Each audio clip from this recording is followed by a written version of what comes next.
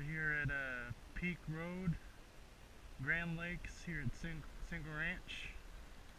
I'm trying to do some fishing. We use some Gary Yamamoto custom baits, 5 inch Yamasenko, chartreuse color.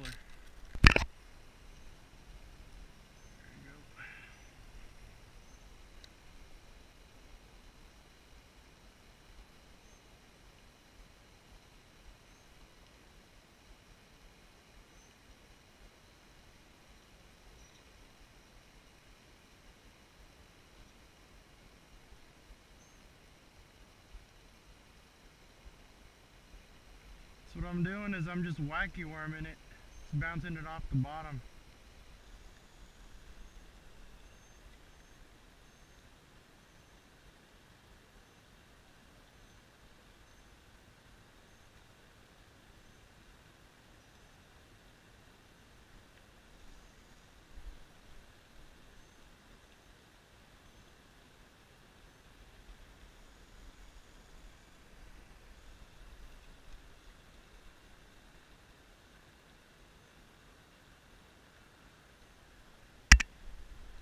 There's one.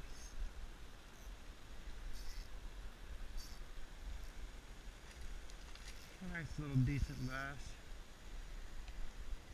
There goes my bait.